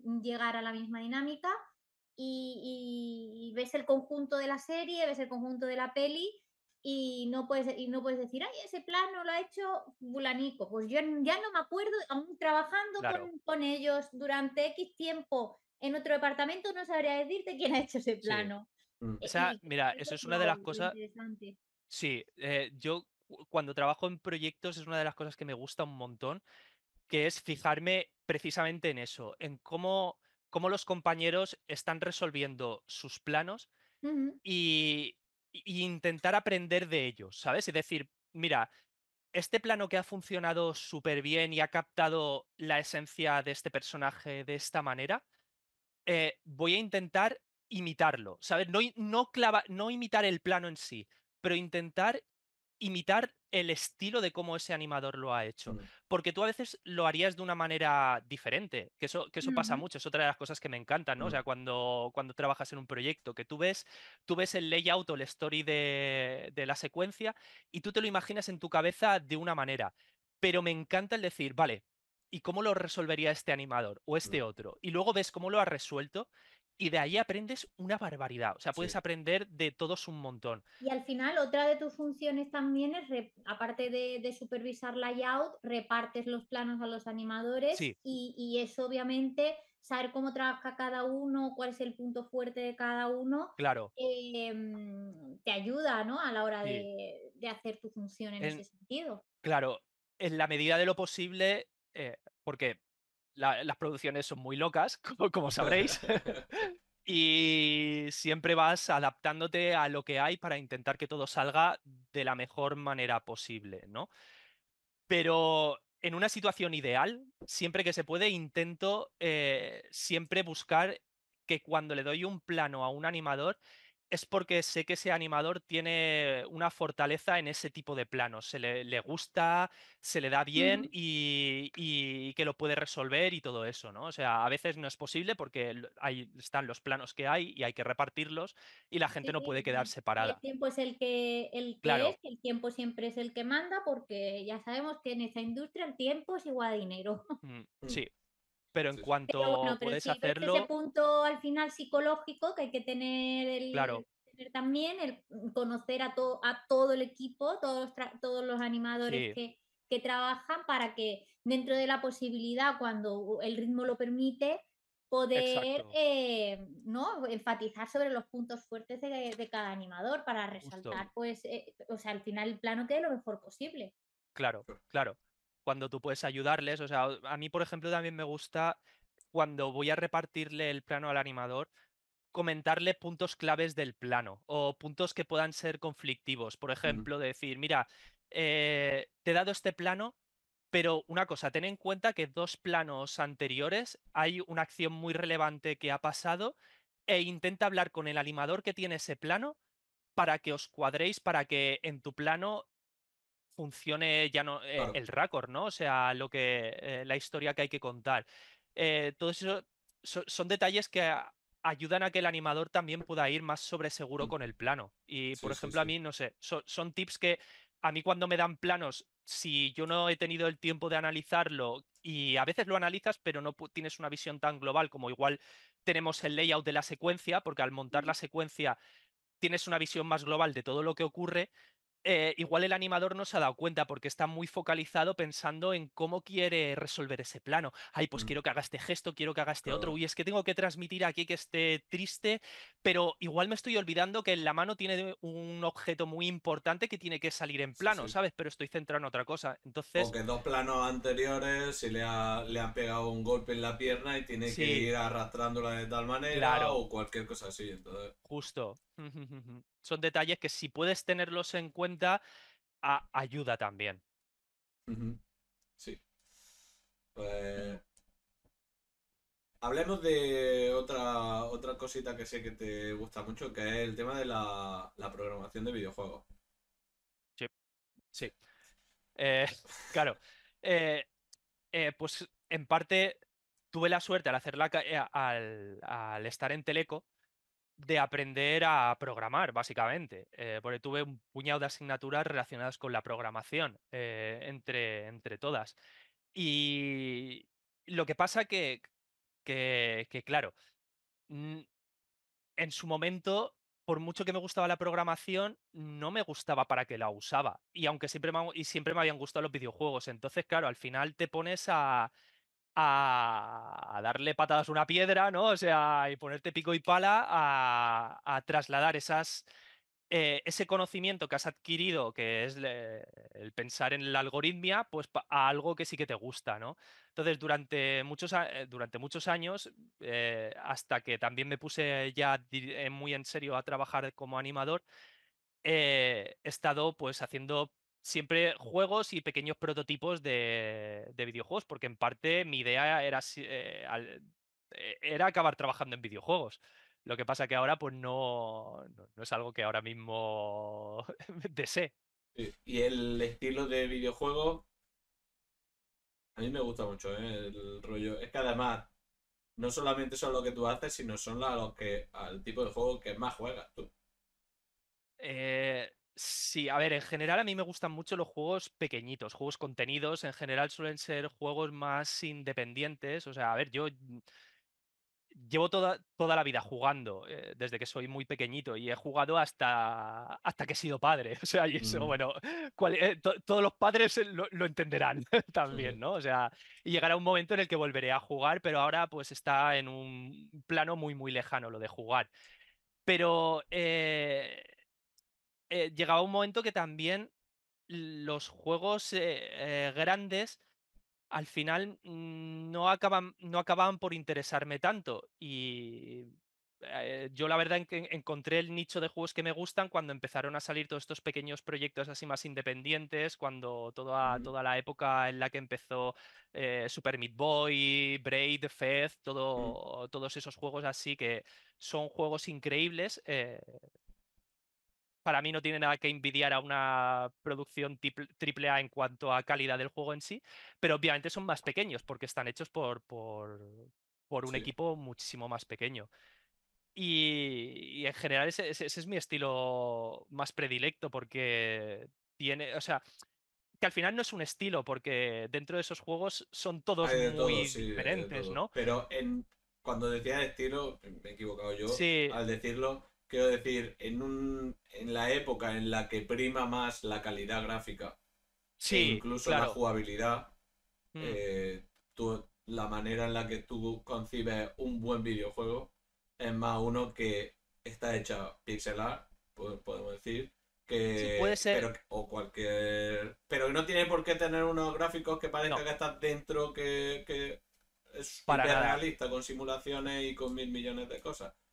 Para nada, para nada. Algunos de mis videojuegos favoritos directamente son los gráficos están hechos con caracteres ASCII directamente, ¿sabes? Y son juegos a los que les he echado eh, mm, muchas horas también. Entonces, claro, al final es lo que eh, con esto eh, es lo que te divierta, lo que te atrae, ¿no? Y, y a mí me gusta mucho est- estos mundos alternativos que a veces cuesta encontrártelos en juegos tan tan grandes, que, que- que es normal porque son juegos de un presupuesto mareante en, en el que a veces no puedes permitirte ir a, a, yo qué sé, a nichos diferentes o a temáticas minoritarias o a gameplays eh, un poco atrevidos porque se puede, te puedes cargar el estudio. Entonces lo, lo Claro. entiendo perfectamente que todos tienen cabida y, y aunque disfruto eso, también disfrutaría mm, enormemente una- unas partidas a Helldivers o un Super Mario Odyssey o cualquier cosa así, ¿sabes? O eh, vamos, El Heydiver Son- lo tiene ahí clavadito en el corazón que todavía no has podido claro, claro, jugar, ¿eh? Con claro, nosotros. claro, claro. Sí, sí, sí, sí, sí, sí, sí, sí. Algún día. Mira, algún por día. ahí, por ejemplo, los multijugadores de ese tipo a mí me encantan. O sea, cosas que. Co- Cosas que sea juntarte con amigos y echar unas partidas, ya sea en la misma habitación o a través de internet, a mí eso La vida. me, me gusta muchísimo. Sí, sí, sí, sí. Bueno, yo quería, a, eh, a ver, preguntarte también, de- si no fuera, o sea, de fuera de, de- de toda esta industria que, que- que estamos hablando, si no te hubieses dedicado a la animación o videojuegos y tal, ¿qué te hubiese gustado ser? ¿Hay algo que, que dijeras, bueno, pues mira, es que lo hubiese tenido claro, si no se hubiese cruzado esto en mi camino, pues posiblemente hoy estaría haciendo esto otro? Es, es- es otra pregunta complicada. Pues, pues probablemente eh, es probable que, que, que hubiera tirado más por, por el tema de la docencia. Porque es algo que a mí también me gusta, lo he hecho en, de- en diversos, eh, diversas ma- materias, ya sea de, o académicas o, por ejemplo, de relacionadas con la música. Y la docencia siempre me ha gustado también. Es algo que pues, probable que por un lado o por el otro hubiera acabado, hubiera acabado por ahí. En cuanto aspiracional, me hubiera gustado acabar en algo relacionado con el tema musical, pero estoy seguro de que eso no, no habría salido. Bueno, nu- nu- nunca se sabe, Nunca se ¿eh? sabe. Sí, sí, nunca se sabe, no. Nunca se sabe También te porque. quería preguntar, eh, porque esto no lo hemos preguntado nunca y creo que, que puede ser interesante y sobre todo porque no se le suele preguntar a los hombres. Eh, ¿cómo, cómo llevas la conciliación familiar, trabajo? Porque has dicho que, que tenías una hija, tal, los dos trabajáis, con tu pareja trabaja también. Y, y un poco cómo, cómo se lleva, sobre Mm. todo hablando desde dentro de, de- de la industria, de lo difícil que hemos dicho que a veces puede resultar por la cantidad de horas que hay que, que echarle, Sí. ¿cómo, cómo lo llevas? A ver, yo lo llevo bien. Eh, sinceramente creo que eh, he encontrado un buen equilibrio, pero es que tengo mucha suerte, tanto en mi casa con mi pareja, por cómo nos podemos gestionar, tanto en el trabajo por la, eh, por, por- por- por la, la- confianza que, que, que se tiene en el estudio conmigo también de que al final yo me puedo repartir las horas de trabajo si tengo que salir en algún momento o ausentarme algún rato. eh, yo ese rato luego lo he hecho por otro sitio y nadie te está controlando, ¿no? Como para, eh, como para, para hacer tu trabajo. Entonces, una de las ventajas para mí, aparte, es trabajar en casa, ¿no? Obviamente, o sea, porque trabajar en casa es lo, que me permite hacer todo esto. Eh, pero como, como todo, cuando trabajas desde casa ahí eh, es complicado a veces, porque te puedes encerrar en una burbuja tú solo y que las cosas se, se compliquen mentalmente también, ¿sabes? Entonces, ahora ya te digo que ahora estoy en una, en una época que yo estoy encantado tanto en mi trabajo y puedo, puedo dedicarme a la familia y puedo dedicarme al trabajo. Pero también es verdad que cuando no estás en eh, trabajando y estás haciendo otras cosas, muchas veces tu mente está en el trabajo también. Porque muchas veces hay problemas que no se solucionan en la jornada de trabajo y tienes que solucionarlos al día siguiente.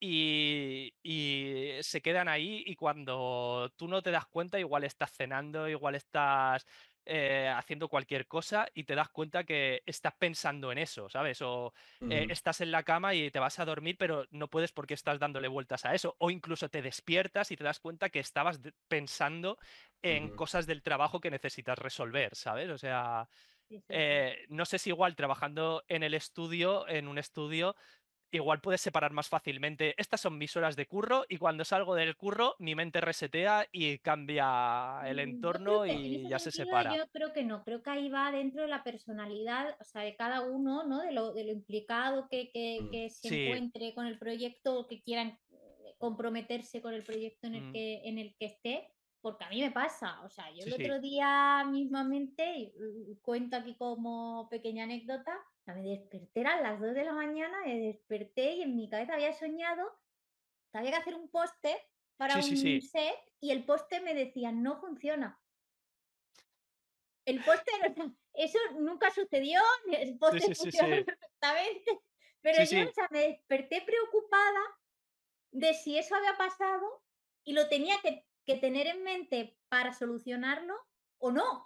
Sí, sí, sí, yo, yo igual, yo he tenido sueños con el récord de, de planos, o sea, sí, con el récord de postes eléctricos, o sea, que mm, te entiendo perfectamente porque que también y te invaden hasta los Sí, sueños, o sea es que que... cuando, cuando tienes épocas de estrés pasa, pasa muchísimo. Leticia, te Sí, no cuelan sé y si, además se cuelan sin permiso. sí, sí, sí, sí, no sí. sé si puedo contar esta anécdota o no. Si no la puedo cortar, la cortamos después.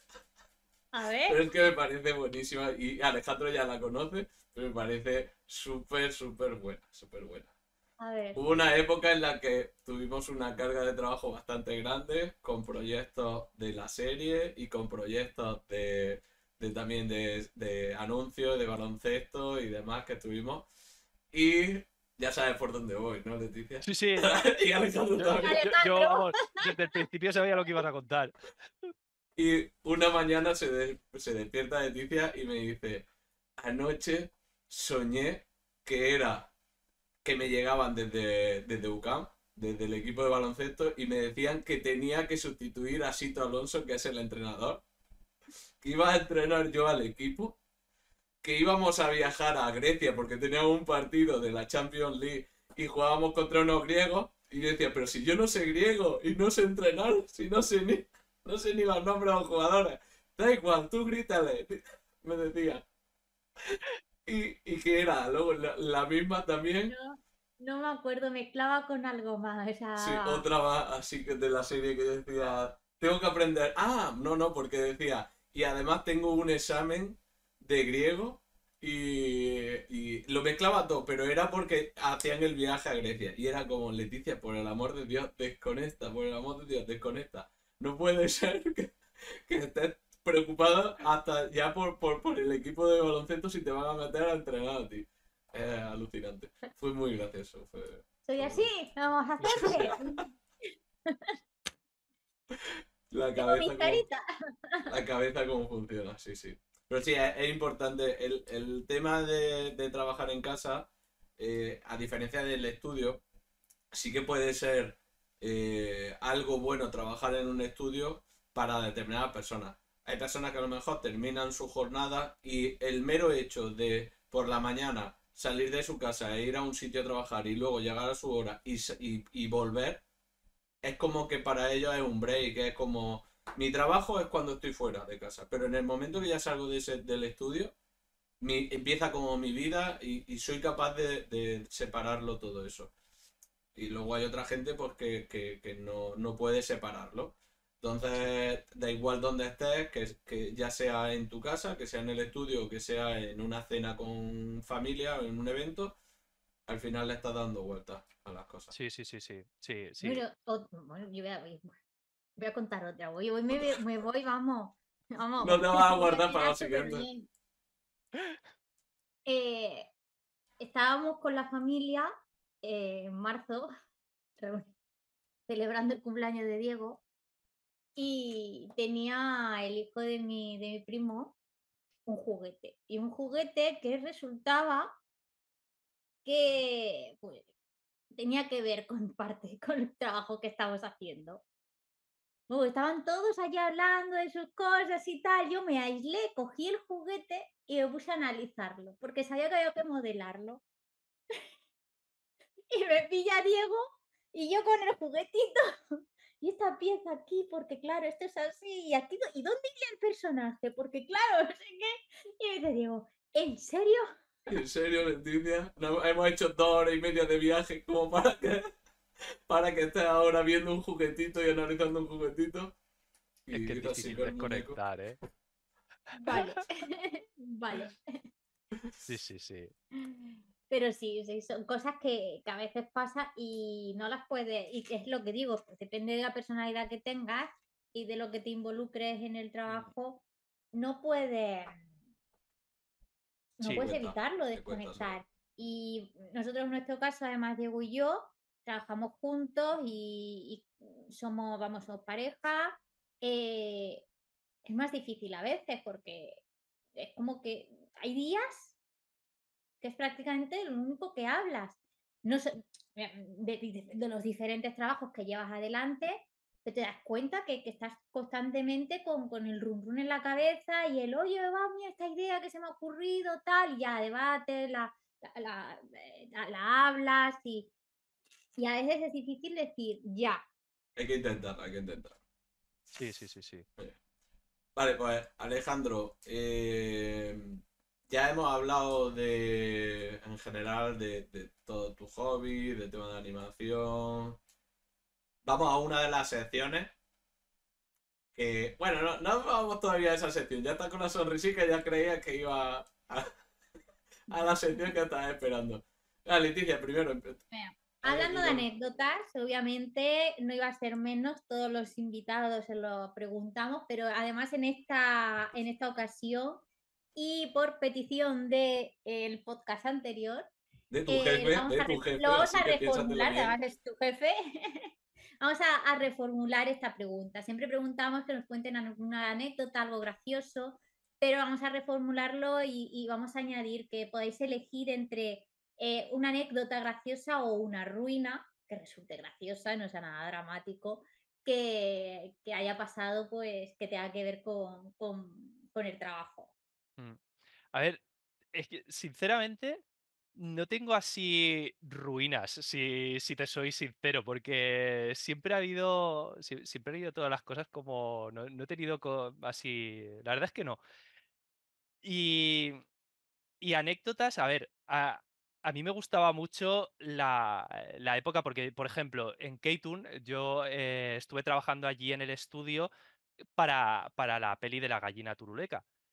Y, y, en esa época era una época muy, muy divertida, además de, o sea, allí básicamente tú ibas a trabajar y, es, y nosotros de Keitun eh, lo llamábamos campamento Keitun, básicamente, porque, vale, sí, ibas a trabajar, pero pero es que en el fondo estabas todo el día riéndote. O sea, estabas trabajando y, dabas lo mejor de ti, pero es que había un ambiente tan bueno con todos los compañeros que tenías alrededor que, luego decías, madre mía, y encima me están pagando por esto. O sea, e, entonces, claro, eh, llegó, por ejemplo, una de las cosas que pasó es que llegó un momento que tuvieron que poner un medidor de decibelios ahí en el estudio que saltaba ya cuando, cuando nos excedíamos un poco, porque ya había momentos que la cosa se iba demasiado de madre. O sea, que, que, ahí, eh, ya sea por grupos, por bromas ya internas que se iban gestando con el tiempo y pues eh, cogían ya su propia eh, em, entidad, eso era, ya era un poco un desfase. Entonces al final hubo que poner un poco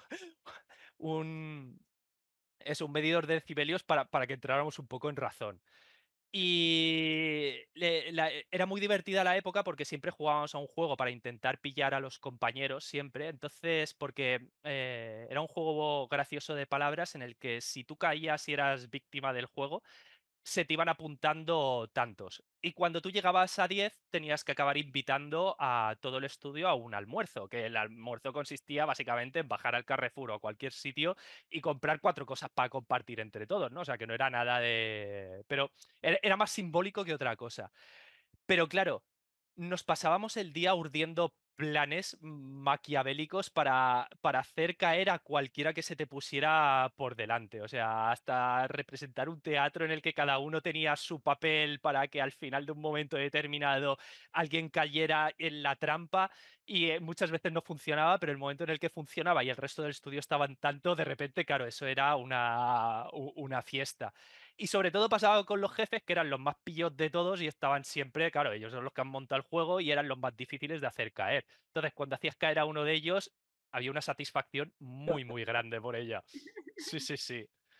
Eh, entonces, yo qué sé, son, son pequeñas cosas así, ya no son tanto anécdotas que me hayan pasado a mí, sino un poco el ambiente general así que, eh, que recuerdo pues cuando, cuando estás con gente así e, en el estudio, que es súper agradable. Alejandro eh. cada vez te va alejando más. me voy, me voy, dentro de poco se te ve una voz y una orejilla por aquí. Es que me voy hundiendo en la silla cada rato. Mira, como anécdota, aunque es una tontería, pero viene a, viene a lo que está pasando hoy. Le estaba hablando, digo, Alejandro, digo, si te ha movido se moviendo la cámara, no te veo. Y es que en realidad se había hundido entero y de estar como está ahora, al final, ya, sí. estaba así o más bajo, solamente me veía flequillo. Sí, sí, sí, sí. Pero es que, es que hay días que acabas muy cansado y no te das cuenta de las posturas que acabas teniendo. Ya... Eh, sí, sí, sí, sí. De hecho, ahí, por ejemplo, en el estudio, cuando, cuando estaba ahí en el estudio, se reían mucho de mí porque yo acabo trabajando siempre en el bordecito de la silla. O sea, tengo toda una silla, tienes siempre una silla para ti, para estar a tus anchas, y acabas con el culo en el bordecito que tienes que estar incómodo. Así es como estoy al final casi ocho horas al día. Sí. Después poner un palo o una valla y te vale igualmente. Sí, sí. Yo también, ah, yo soy muy. Yo me siento fatal. Yo estoy las sillas me las cargo nada más que por estar sentado, girado, apretando, presionando por un lado, la pierna doblada por aquí. Lleva dos o tres que de pronto yo le oigo. ¡Pla! ¡Pla! ¡Pla! El, el reposabrazo. Todo, siempre se carga el mismo reposa, reposabrazo. Siempre claro, y me cargo el, el, primero, el izquierdo, luego me voy a por el derecho, hasta que me lo cargo y así. Eh, ah, por eso a mí me gusta en el. Vaya así, vamos. En el estudio, en el estudio de allí de Keito, por ejemplo, una de las cosas que a mí me gusta, que, sí que la compraremos para aquí, eh, es diferentes tipos de sillas. Taburete que, se mueve un poquito así. La, mesa, lo siguiente que, tenemos ya encargado es la mesa para poder trabajar de pie y demás, diferentes alturas. Porque al final es súper importante. Pasamos muchísimas horas sentados y no nos damos cuenta, pero cuando te tiras cuatro horas seguidas sin moverte. En el momento no te lo notas, pero cuando vas a levantarte para beber agua, para comer o lo que sea, es que no puedes, muchas veces no puedes ni moverte y dices, madre mía, como tengo la espalda o como tengo tal, y, no me he dado ni cuenta. Así que. Mm. Mm. Bueno, ahora sí, ahora sí. Viene la pregunta de Simón. La pregunta de Simón, que para quien no lo sepa, es una sección que habitualmente hacemos. Simón, un compañero de trabajo que pasa muchísimas horas con, nosotros y con otros compañeros del estudio, pasa por aquí por, por Zoom. Y bueno, quería preguntarte, ya que era un poquito más personal, porque sí te conoce y tiene muy buena amistad contigo, quería preguntarte un poco más sobre un tema que has estado a punto de hablar antes, y por eso te he cortado, que es el tema de la música. ¿Vale? Eh, le gustaría saber un poquito más sobre tu faceta de, músico, como porque no solamente eh, es que te guste la música, sino que, si no me equivoco, también has tenido un grupo de música y tema de conciertos y demás. Cuéntame un poquillo para que, para que Simón se quede tranquilo. claro. Eh, sí, la verdad es que soy súper fan de la música. Es, forma parte de mi día a día con, de eh, comer música por todos lados. Eh, y luego eh, llevo toda la vida desde que tengo seis años tocando instrumentos y estudiando música también. Eh, empecé con la guitarra y con eso, con, seis años. Y poco después le añadí también el piano. Y poco a poco pues he ido añadiendo, a medida que he ido creciendo, nuevos instrumentos a, lo, que, a, lo que me gusta, ¿no? Y yo qué sé, es, eh, es una constante en mi vida, ¿sabes? Siempre puedo tener cualquier cosa que hacer, pero al día siempre puedo sacar un rato para practicar con la guitarra o con el piano o con el bajo o abrirme un programilla y grabar alguna cosa pequeñita, ¿sabes? Cual- mm, pu- siempre, siempre hay tiempo para eso. Y también es verdad que ahora la vida es- mm, no, no tengo tiempo para todo lo que me gustaría hacer, pero sí que tuve muchos años en los que eh, prácticamente a diario quedaba con mis amigos, ya sea de, de- los grupos por lo que tenía o de compañeros del local, de, de locales de diversos, que nos juntábamos todos a, pues básicamente a juntarnos y, eh, e improvisar de cualquier cosa. Y eso, pues, pues mm, has- me, me ha acompañado muchos años, hasta que también, pues al final, eh, el tiempo no da para todo, ¿no? Y, y eso ahora pues se ha reducido en mi casa a- con mi hija, básicamente, por lo menos por ahora, hasta Mm. dentro de un tiempo en el que probablemente ya vuelva a sacar más rato para, para volver a dedicarlo con, con los amigos, que es una parte que, que- que es divertidísima, la de, la de compartir música con gente. Pues figúrate que yo creía que cuando te ha preguntado Leticia que qué hubiese sido si no fuese animador, yo pensaba que iba a decir eh, músico. Mm. No. Eh, la vida del músico es que creo que es muchísimo, mm, o sea, muchísimo más difícil y muy despiadada. O sea, porque en mi entorno tengo amigos músicos profesionales de, pues, que se dedican a, la música a, un, a nivel profesional y, al- y a un alto nivel. Y ha- han sufrido mucho, mucho, mucho, mucho para llegar a donde están y es un mundo muy inestable, es, un mundo muy complicado. Y no me veo yo con la, co- con, la paciencia y, y el tesón de seguir intentándolo, intentándolo tanto y recibir los palos que se reciben muchas veces en el mundo de la música para, para dedicarte, para dedicarte a ello. Por ejemplo, en el tema de la docencia sí que, sí que podría dedicarme a, relacionado con la música, ¿no? A la, a la docencia ya sea de, o de teoría musical o de, o de, o de algún instrumento, de, por ejemplo, guitarra o piano pero no me veo dedicándome a, a la música profesional de, de ninguna manera, no. Más como, una, afi- como una afición, ¿no? Sí. Muy bien, pues bueno, mo- vamos a ir terminando ya con, con- con esta charla. pues, y, y bueno, la, la última pregunta que siempre hacemos, igual que, que el resto de invitados, es que nos recomiendes a una persona para que venga al, al podcast, a que le hagamos una entrevista y que, mm, que le hagas una pregunta. Claro, muy bien.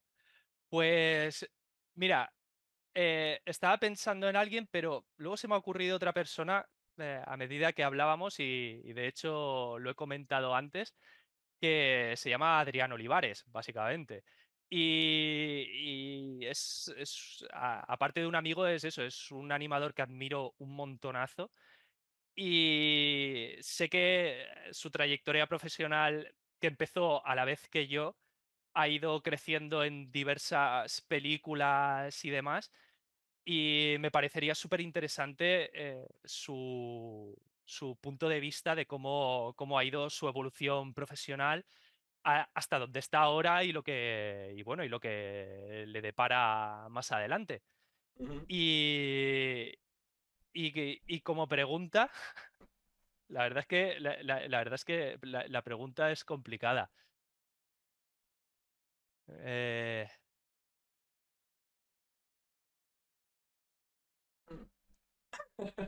es que sí, sí, es que es difícil. mm, ten en cuenta, será como la, la primera pregunta que le pongamos. Mm. Eh, entonces, pues partiendo de ahí un poco qué te podría qué te gustaría saber y que además puede incluso guiar el resto de Sí, O, la claro. o tampoco Sí. tiene por qué ser algo súper profundo, sino a lo mejor No, algo que para hayáis nada. compartido. Para que hayáis com- algo que hayáis compartido, Sí, alguna anécdota sí. o algo simpático que hayáis compartido en, en vuestros inicios de trabajo. Sí, no, de hecho, mira, lo estaba pensando ahora y, y por cómo sé el cómo, es de implicado y cómo le gusta la animación, es, eh, me gustaría saber de, de- los proyectos en los que ha trabajado, ¿cuál es el que le ha supuesto el mayor reto? ¿Sabes? A nivel de, de superarse como animador y enfrentar cosas que le puedan haber costado, que sean más ajenas a él. ¿Cuál es el que más le ha. cuál, eso, ¿cuál es el que le ha supuesto más reto y por qué? Claro. Genial. Se lo pondremos. Buena pregunta. Genial, buena genial. pregunta. Muy bien. Pues, eh, nada, Alejandro, la verdad que un auténtico placer. No te diría, a ver si volvemos a hablar algún día, porque prácticamente ha- hablamos, hablo más contigo que... No con Leticia, porque Leticia también está aquí todo el día, Claro, pero claro. con, mi, con mis padres Claro. seguro, ¿eh? Seguro, Mi- seguro. Sí, Sí, sí. sí, sí. Mi madre cuando escuche el podcast, seguro lo escucha, me estará diciendo, ¿quién es ese Alejandro? ¿Eh? ¿Por qué habla tanto con ese? Y Sí, no me sí. llama a mí. Claro, claro. Pero Pues sí, es verdad que al final es igual que dice Diego conmigo, pues eh, eh, creo que es de las personas con las que más hablamos a, a lo largo de los días. Sí, sí, sí. Sí, no, además que, que es que también, a ver, es, es un placer también porque es que quieras que no, trabajar desde, desde casa eh, es, es- es muy solitario, ¿sabes? Y, y a mí me gusta estar en contacto con, co- co- con, con la gente con la que trabajo. Te ayuda, te motiva, te hace que entiendas más los proyectos. Es, eh, no sé, es súper interesante. Entonces, para mí eh, es, es una alegría poder estar con, con vosotros y con Simón y con cualquiera que se pase por aquí a saludar por el Zoom. Al igual que, sí, sí. que es que cuando no estoy hablando con vosotros, estoy resolviendo problemas con otro que en vez de escribirlo hago una videollamada, porque es que al final sí. me, me gusta hablar con la gente. Bueno, ya, ya ha llegado a pasar en Zoom que hemos estado más que en el estudio, sí. Sí. sí, sí, sí, sí. Y tanto. Está, compartiendo ratico. está muy, está muy guay. Así que que sirva también para la gente que está escuchándonos, que está en su casa, que le cuesta a lo mejor, que no puede ir a un estudio de irse a Madrid, Barcelona, Canarias, eh, a grandes ciudades, Valencia, y, y no pueden trasladarse, que se puede trabajar online, más hoy en día. Hace Que un puedes tiempo- hacer amistades, que Sí. puedes acercarte a gente que no ves, eh, que no, o sea, en persona y, y tener incluso más relación que con, que con gente que a lo mejor que estás tratando Normalmente. Que de una depende manera mucho, que depende mucho más, sí, depende mucho más de, de uno mismo, de la persona, que, que si pones interés y tienes ganas de, de tener relación con la gente, ¿vale? Que no, no tienes por qué estar aislado, porque sí que conozco gente que no le gusta precisamente el trabajo remoto, por eso, por lo solitario que es, porque al final cuando eres freelance eh, es muy habitual estar pasando de proyecto a proyecto y ni siquiera saber con quién está, quién, quién está trabajando en el estudio. Yo he tenido amigos Sí.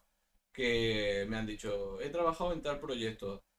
Digo, hostia, digo, ¿conoces a José? Y dice, José, ¿qué José? Sí, coño, si trabajo en este proyecto, estuvisteis seis meses en el mismo proyecto. Ah, yo qué sé. Es que éramos cuarenta y tantos y a saber. Claro. Hostia, Pues eso es- no, no mola. Así que, Además- Mm. Es que no, si es que además a mí me motiva mucho también, porque en general, cuando te dedicas a esto, es una profesión en la que además te expones tú muchísimo, porque cuando tú estás trabajando, ya sea como animador o como cualquier cosa, eh, estás eh, aportando una parte creativa tuya que tiene que, por ejemplo, luego los supervisores, directores tienen que aprobar, ponerte retakes, hacer cambios, y al exponerte tanto, me parece súper interesante poder estar con otra gente que está pasando por lo mismo, porque te motiva a, a- esto lo estamos llevando entre todos, ¿sabes? O sea, y eh, puedes hablar con otro de, oye, menudo planazo que tienes ahí, me ha encantado el plano que has hecho. Sí, sí. eh, sí, Mm. es- esas cosas es que es el trato, el tener el trato humano de tú a tú, aunque sea a través de- del ordenador, es súper importante y es lo que también te hace crecer y que mejores y no sé, eh, me parece vital. Muy bien, pues nada, Alejandro, muchísimas gracias de verdad por, por todo el rato que hemos echado y, y creo que a la gente le va a gustar muchísimo. A Eh, vosotros, claro. Vamos, evidentemente estás invitado cuando quieras para una siguiente temporada que seguiremos haciendo y podemos, incluso estuvimos Leticia y yo planificando alguna cosa que, que creo que puede ser muy interesante referente a algo un poquito más, en vez de entrevista, algo un poco más enfocado a análisis de proyectos, cosas buenas, cosas malas y cómo afrontar ciertas cosas que no sería tan individual, pero alguna cosa par- eh, en concreto, ¿eh? No, no quiere decir que no vamos a seguir haciendo entrevistas porque hay muchísima gente que, que- que- que tenemos ganas de hablar con, con ellos y ya se nos van acumulando conforme vaya hablando vosotros. Así que nada, muchísimas la gracias. lista. Sí, sí, sí. Un placer, chicos. Nada, nos vemos en el siguiente. Un abrazo. Hasta luego. Hasta luego.